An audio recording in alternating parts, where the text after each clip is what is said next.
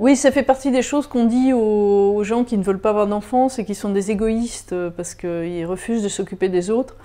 Ce qui est évidemment ridicule, puisqu'on on vit quand même dans un monde surpeuplé, donc je pense que les égoïstes sont quand même beaucoup euh, les, parents qui, qui décident d'avoir des enfants puisqu'au fond, personne n'a besoin de, nouveaux enfants. Euh, on se dirige vers 10 milliards d'habitants sur Terre. Je pense qu'il faut, aussi... Euh, mais en même temps, je trouve très drôle de, pouvoir dire euh, que, en effet, moi-même, j'étais très égoïste, puisque j'en ai deux. Je revendique tout à fait mon égoïsme total.